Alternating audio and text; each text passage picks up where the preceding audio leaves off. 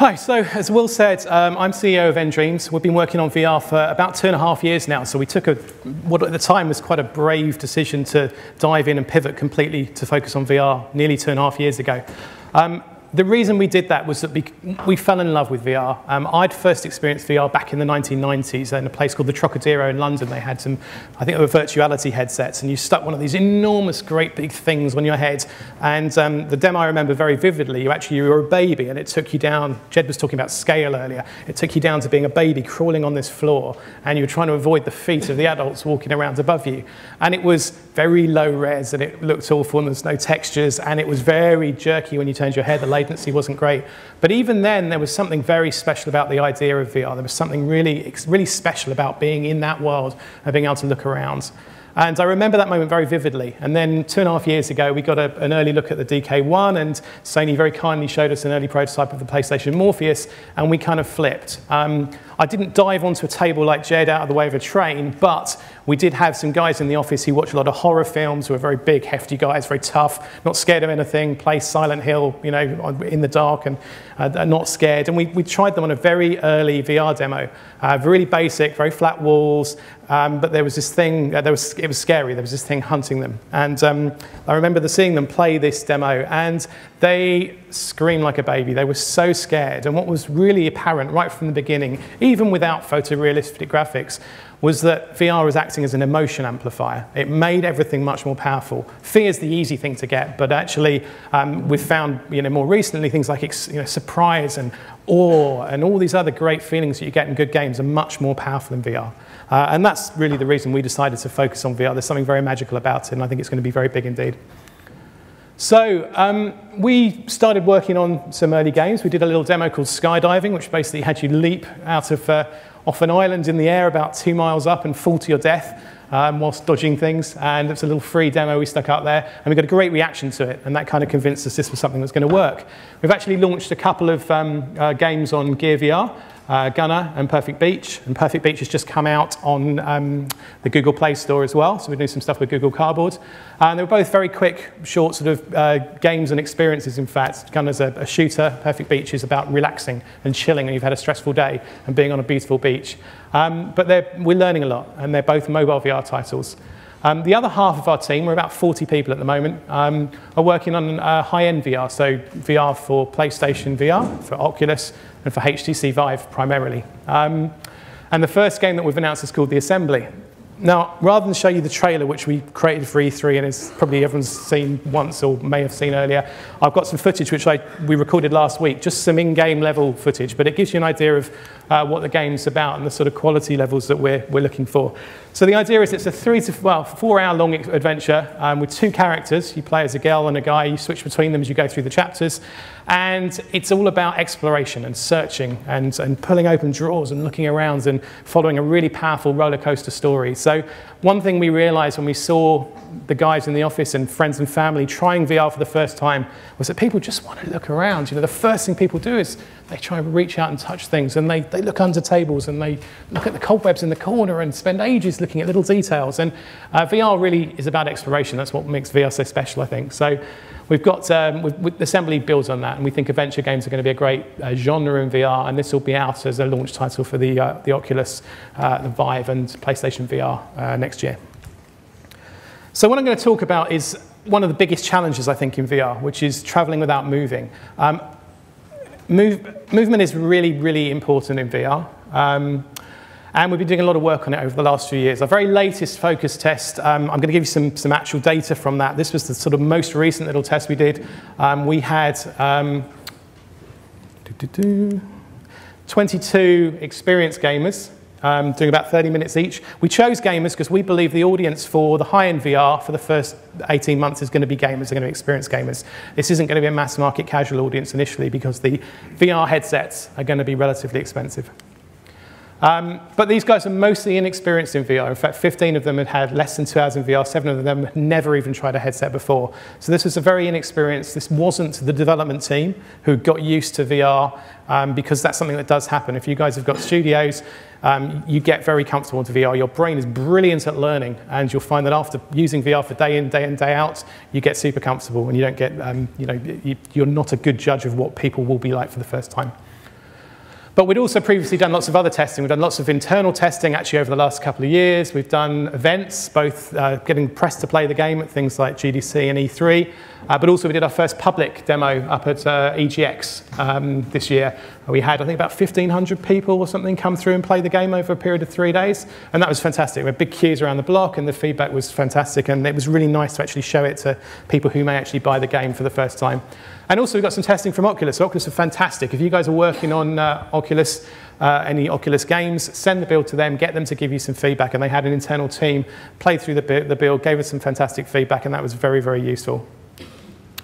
Um, so one thing that we kind of knew immediately was that uh, even before this, was that around 50%, 40 to 50% of people suffer discomfort when walking around in VR. And this is with using a kind of traditional controls. You stick a normal first-person control system in there, and at least half of, well, up, almost, up to half of the people feel pretty, pretty uh, a significant amount of discomfort. Um, that does vary depending on the frame rate. If, you, if you're not running at a proper uh, suitable frame rate, that can be much worse. But also things like room temperature. If you're at a show and people have been running around and it's hot and sweaty and claustrophobic, it gets noticeably more of an issue than it, than it, it does if you've got a nice cool room, which I think is one of the reasons that Oculus have air conditioning. If you ever see them at the shows, they have lovely air conditioned rooms.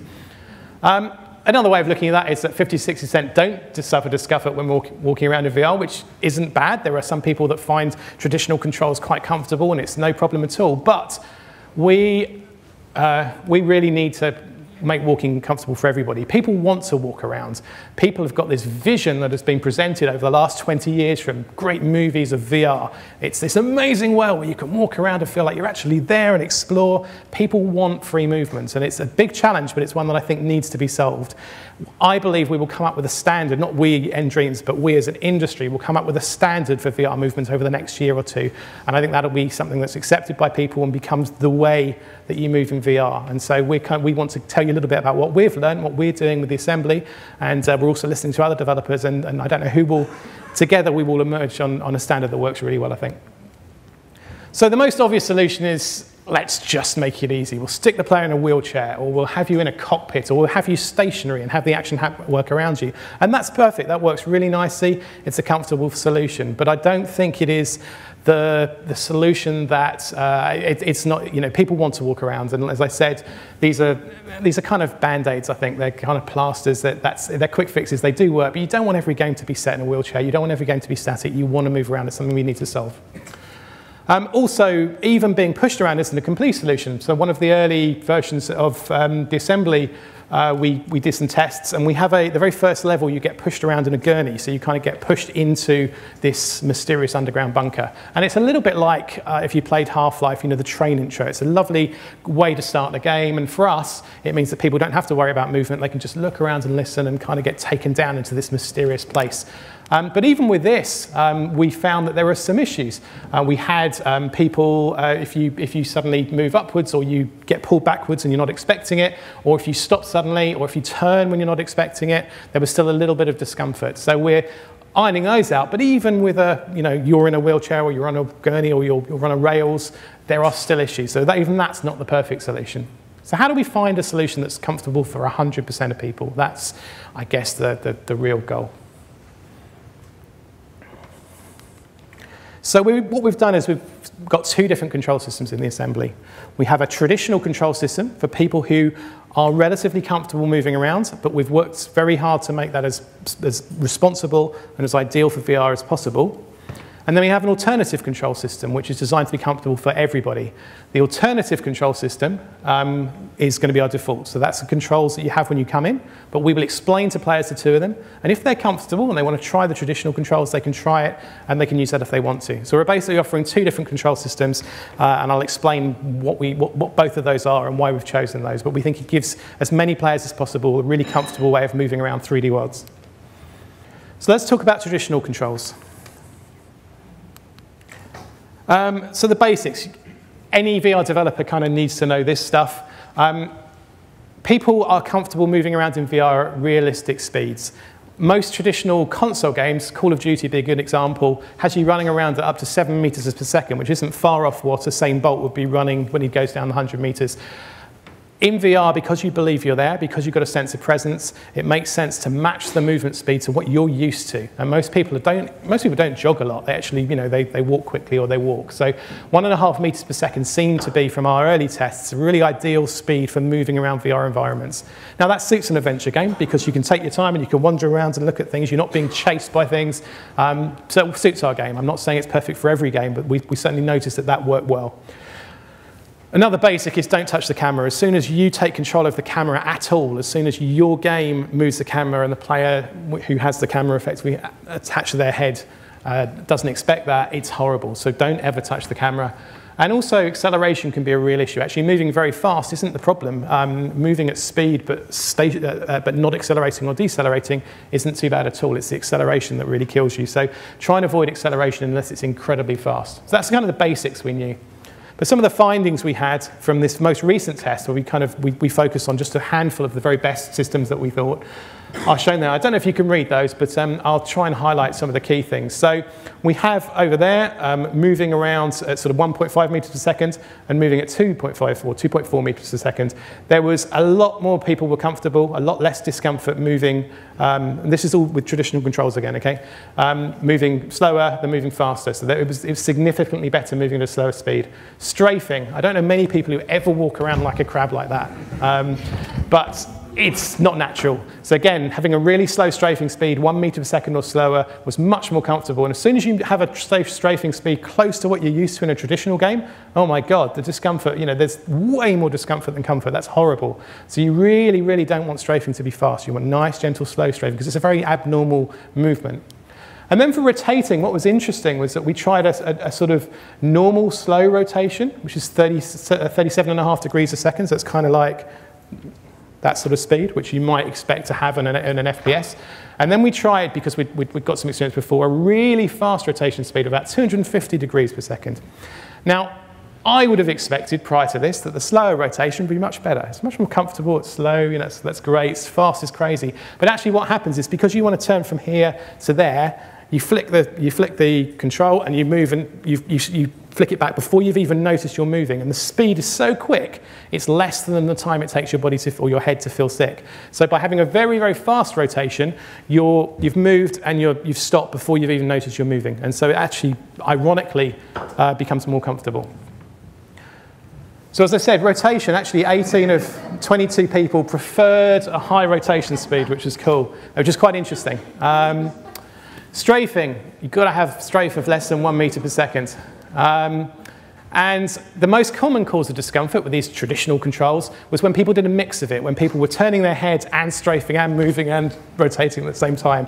What we found, incident, uh, interestingly, was that people um, instinctively stopped doing it. Actually, that wasn't, we didn't want to stop people. If we had some control in the code saying if you're turning your head, you can't move, and if you're moving, you can't strafe, it was too limiting for people. People very quickly realized, oh, when I do all that together, yeah, I won't do that. I won't do that again. That's fine. And then actually, the, the way they played from then on was just using one controller. They'd walk forwards, they'd stop, they'd have a good look around, they'd turn, they'd strafe to get into position. And, and actually, it, it, was, it worked pretty well. So that's the traditional controls. If you want to allow as many people as possible to feel comfortable using kind of traditional twin stick style controls, the best way to do that is, is here, is like this. It's to have a natural movement speed, a high speed of rotation if you want to use the right stick for rotation, which I'll suggest some alternatives in a minute because it's not always the best example. But if you want to do that and you want to offer a traditional system, make it fast, um, consider adding an alternate rotation option, and don't have any perceived acceleration. They're all things that we think work well for having a traditional sort of system. But it's not a solution for everyone. Even if you do that, you might get 60% of gamers feeling comfortable, but you've still got 40% of gamers who are not happy, you don't feel comfortable in that. So what are we going to do about that? How are we going to make a solution? And that's our alternative control system. This is going to be the default for the game, um, which is what you, you have when you start. So the things that cause issues are movement, actually physically moving forwards a little bit, moving strafing much more, and rotation, particularly when you rotate and you also rotate on your head separately. That's truly horrible. If you ever do the, turn the stick right and turn your head left, that's horrible. So the best way to get is to get rid of them. If you can get rid of those, you can get 100% of comfort across all people, which is fantastic as far as we can tell. So how on earth do you move around a space without doing movement or rotation? That sounds like I'm talking complete rubbish, doesn't it? Um, hopefully you'll agree I'm not. So the very best rotation system is actually to move your body around. So if you can actually rotate by turning your body, that's 100% comfortable. That works super well. And on the Vive, that's an absolutely perfect solution because you've got tracking coming all the way around you. It doesn't matter which way you're pointing. You want to do rotation if you can by turning your body on the Vive. It's brilliant. It's more of an issue on the, on the PlayStation VR or the Oculus because Oculus Touch requires you to face forward. If you turn around, you obscure the, the, the, touch devices and it can't track them. The same is likely to be true with PlayStation Move. PlayStation and Oculus are much more of a sort of face forward VR system. Although you can look around behind you, your body's not going to be turning. You tend to be you're most likely to be in a sofa or in a, in a seat um, using, using those devices. So although rotating your body is the perfect way to do it, and uh, you know, if you've got a, a nice uh, seat that rotates or some of the, the great peripherals I've seen out there, that's ideal. We can't rely on that. So there are different types, two different types of rotation we tried, which we thought really, really worked really well. One is trigger rotation. So in this, you press the left trigger and your character snaps um, 45 degrees. You press the left trigger again, your character snaps 45 degrees again. You press the right trigger, your character snaps 45 degrees. So basically the way you're playing it is by using the triggers to snap, and then you can look around and search and pull things out and interact and do stuff, and then flick, flick, I'm over there, and then you, could, uh, and then you can uh, do whatever you want in that area. So you're basically switching between sort of 45 degree arcs. And actually that's very intuitive, it's really comfortable, and people uh, find it much, much better. The other solution, which actually Palmer Luckey suggested, um, was called snap rotations. The idea here is if you move the right stick to the west, your character will immediately turn west. Uh, if you turn your stick down to the sort of southeast, your character will immediately turn southeast. So basically, your character turns to whichever way you position the stick and let go. So it means you can instantly move your character anywhere. This is actually, and again, if you, you place, uh, push the stick right down, you'll do a 180 uh, like that. So it's a very powerful system. Once you get used to it, it works really well. But our, some of the guys doing the tests found that it wasn't very intuitive. It wasn't what you expected. It took you a while to get used to it. But actually, it's a really nice way of rotating once you've done it for a little while. The very best movement system, as I said, is kind of is actually uh, in terms of move. Sorry, yes. So we're going to move on to movement now. The very best movement system, a bit like with rotating, is actually to move. And if you can't move, if you don't have a huge space to move in, and on the Vive, you, you, know, you have a little area, depending on what people's rooms are like. And that's one of the challenges with the Vive, incidentally, is that not everybody's going to have a three meter by three meter space. Some people might not have any space yet and be using it as a face forward VR headset until they get some room. Some people might have two meters by two meters. Some people might have different areas. So it's going to be very hard to design games with that in mind. With the assembly, it's a kilometre long. This, this, is a huge underground bunker with lots of rooms and spaces, so we can't physically model that. Um, uh, sadly, that would be great. So the best way is to actually have a, a trackpad or something like that, so you can move on the spot. They're fantastic, but I don't think they're very commercial. Um, you know, they're going to be exp fairly expensive. I think they're going to be fairly niche. I think they'll be great for arcades and out-of-home entertainment, but um, I'm not sure. My wife would be terribly happy if I got a huge, great one of these uh, things in front of the TV, and uh, I think it's going to be hard for people. So uh, the realities, sadly, are that you know, it's, it's, not quite as, uh, it's not quite as easy as that. So how do you move? Well, there are two systems that we like the most, um, and these are, you know, lots of people are trying these out. One is straightforward, it's a teleport. So you press a button, you get a little reticule, you use your head to decide where you want to move to. The, the sort of reticule sticks to the ground, so you can decide where you want to go to.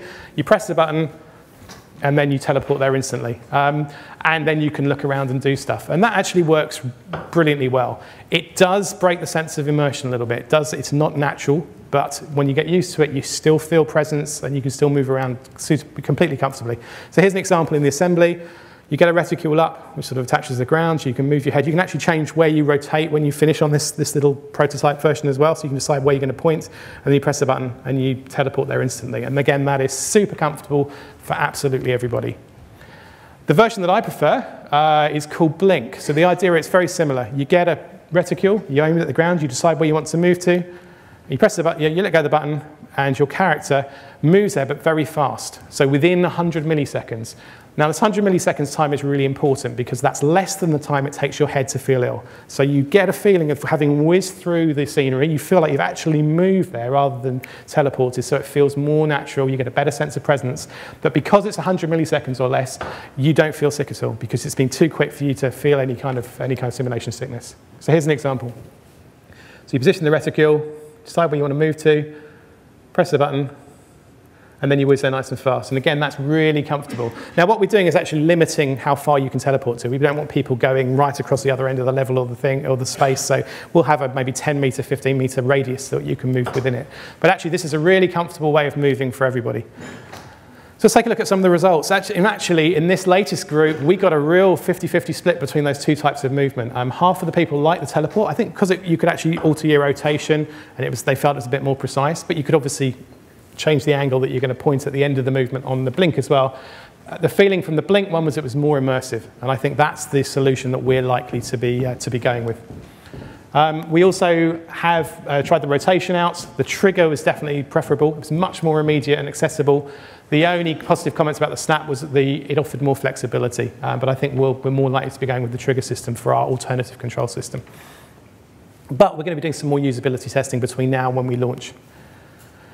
So a very quick summary for the alternative system, try and remove movement and rotation altogether, add alternatives. So we're going to be going with the teleport or the blink or the trigger and the, the snap look. Most likely the blink and the trigger, I think, are the options that work the best. Um, but they were super comfortable and everybody was happy and everybody, everybody found that they worked for them. Um, now, I haven't mentioned touch controls. I've talked about controllers. The reason for that is that we're making launch games and um, the Oculus isn't going to launch with Oculus Touch. We don't know if the PlayStation VR is going to launch with Move controllers. We have to assume that some players won't have Move controllers, we'll just have the DualShock 4. Um, and even with the HTC Vive, um, we want to make sure that people have controller support if they're using controllers. It seems a sensible thing for a launch title across multiple platforms. Having said that, all of the stuff I've talked about will work with touch controls. The Oculus Touch has two sticks. It has triggers, it has buttons. So you can do all of that stuff I've talked about with the Oculus Touch. The Vive controllers have dual sort of circular D-pads, which can work in exactly the same way with triggers and with buttons.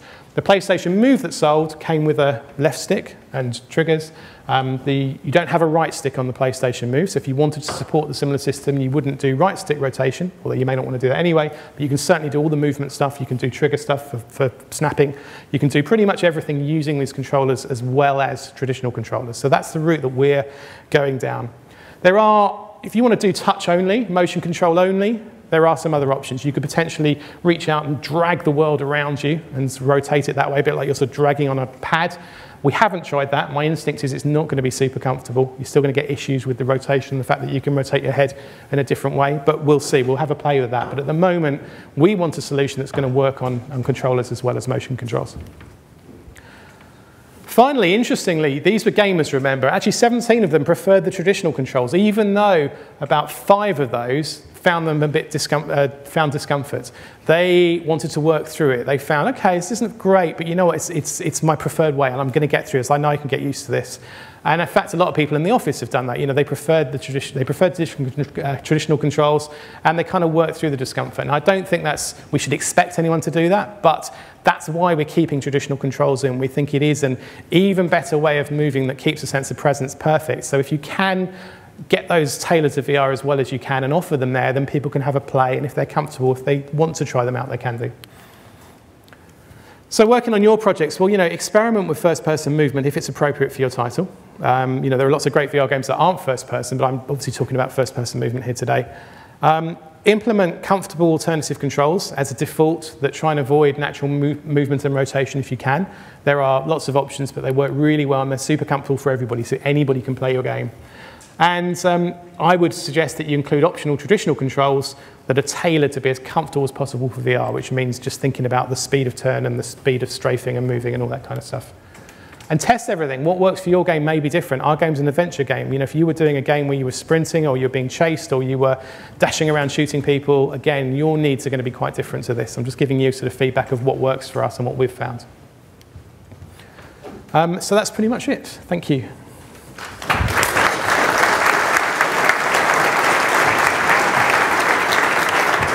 Stuff. Thanks so much, Patrick, and many brilliant physical demonstrations through your own movement as well, which is great. Um, so yeah, considering um, nDream's experience and this kind of thing, I'm expecting loads of hands to shoot up. I hope you're not going to embarrass me now. Any questions? Fantastic. Uh, chap with the leather jacket there was just about quickest, so um, far away.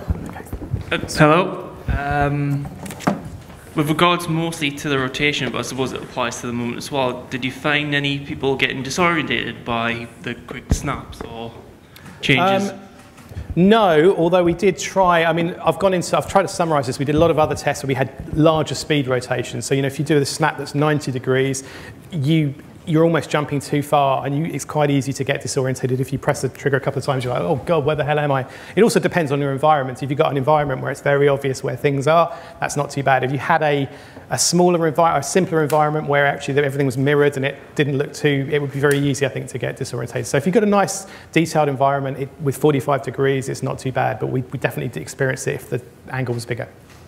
This one. Any more um, Dan, oh, I was going to say Dan, the guy with the microphone's not going to know that. The Dan with the glasses on. Thank you. You, you mentioned that um, the teleportation and blink methods of movement were a little less immersive, and I'm wondering whether or not you know what that's down to. Because I noticed in that you've got um, a UI reticle that's showing you where you're going to move. Obviously, that's not something that you would experience in normal movement. Yeah. Is that perhaps why it's less immersive? I don't know. I think I think it's I think it's a good point. I don't think it's a UI uh, interface, although it's something we could explore. Certainly, we could have a robot doing the UI or something that felt like it could actually be in the world. I think it's more that you expect what you see to match what you're used to in real life. And because in, you know, if, if in real life we actually teleported regularly, I think it would feel fantastic and it wouldn't break the presence. But none of us, I don't think any of us are used to teleporting a lot. So um, I think that's the issue. I think it's the fact that you've moved some, instantly, and that's a bit weird, and that, that's not what you're used to. I think that's why the blink method, where you're actually moving, even though you're moving very quickly, is better because at least you feel like you've, you've, you've moved through environment. Um, you know, I'm not saying they're the perfect system because you do lose a little bit of that presence because you're moving. But I think once you get used to it, it's fine. And because it's so comfortable, and because everybody's comfortable, nobody feels motion sickness, it's so worth doing, even if you're losing a little bit of the presence. I'd rather have, you know, if you've got a presence bar of 100%, I'd rather have everybody comfortable playing at 60 rather than try and hit sort of 80 or 100 and have lots of people feeling, feeling ill. It's really important that everybody likes VR. Great. Um, the, uh, hands everywhere. Yeah, the chap with the glasses was already, his was flying up early, so I think he gets the mic next. Hiya. Uh, it was just in specific to the blink methodology that you're using. Do you lock the person's head rotation just for that short blink as well? Um, we are likely to, but because it's 100 milliseconds, it's so quick that um, I don't think in any of our tests anybody has tried to turn their head whilst they're doing it because it's so fast. I, am I'm, I'm, I'm loath to say lock the head movement because I think any time you take control over the head movement, it's bad. You should always allow the player to move. And that's a, you know, another conversation. If you've got a wall and you're there and you want to move your head into the wall, what do you do? If you stop the player's head moving and you lock it and you're moving your head and it's not responding, that feels horrible. So you almost, you do want the player to be able to keep moving, even if he goes into the wall. And there are other solutions for that, fading to black and doing other things. So I'm not sure I'd ever want to lock head movement. But the good thing is because it's so quick, it's 100 milliseconds, actually you're, you're, you're barely going to start moving before you're there. So it's not actually been an issue. Right, it's a good question. There are a few more. Um, yeah, there's a guy a couple of rows back with a leather jacket. I think it's a leather jacket. Oh.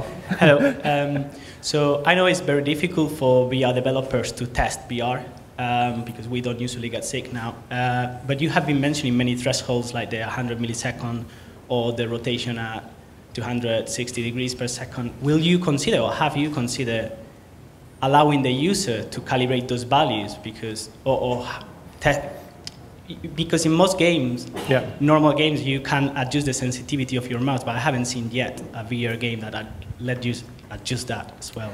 It's certainly something we've talked about, um, and we're aware actually. If you look back at when consoles came about, and everyone was used to aiming in first person with a mouse, and the, I don't know if you, any of you guys, I had this experience when I first used a controller to try and aim a first person shooter, and it was horrible. I was looking up at the sky and the ground, and it was it was nasty. I was like, oh, this is horrible. You need a mouse. This is a really bad way of doing it, but. It, and the very first games that came out had tons of variables. You could adjust the sensitivity, you could adjust the dead zone, you could adjust how fast you moved. And the problem is, I think for developers, that's fine, but for your average guy who plays FIFA and Call of Duty and doesn't understand movements and game design, it's quite tricky, you know, asking him to set the dead zones and the values, oh, I don't, that doesn't feel comfortable with me. So I would rather we set them to the very best values. And if we find that actually there's a group of people who like this and a group of people like that, we might just have a couple of options and allow people to switch between them. But I'm not a big fan of allowing people to switch around with kind of game design variables. Maybe if you're doing a, a you know, a, a hardcore gamers game, a PC strategy game where you're more comfortable comfortable with that, that's great. But we're trying to aim for you know as many people as possible, and I'm a bit nervous about giving lots of value to people to tinker with. Well, I think we should squeeze in one more. Um, guy with the shirt was just beat you to it, I'm afraid, sir. uh, just a quick one on the omnidirectional treadmills. Uh, I, I, get they're not going to be mass market, but do you see that as a really good um, method? Is it, is it very successful? Yeah, it's great. I mean, the ones I've tried two or three so far. Um, the walking movement isn't completely natural. I'd love to find a treadmill where you just walk normally. Um, it's, it's slightly odd, but you know they work brilliantly well. The great thing is you, you feel like you're moving, so you're completely comfortable. You turn, you, and it just works. It's, it's the best solution. If somebody could find a way of building something which was really lightweight and cheap, I could stick on and just walk and I stay on the spot. Uh, it'd be brilliant. So I really hope that gets solved. But we, we, you know, there are so many great VR peripherals out there, but we as a developer have to decide what to support. We could spend months and months and months supporting every single headset, every single different piece of hardware and tracker and things, but we're trying to figure out what's going to be commercial, what's going to sell a million units or more. Um, and I hope the Virtuix Omni does really well, but it is expensive and big, and the other ones are, you know, will they sell? I don't know yet, but it's a great solution.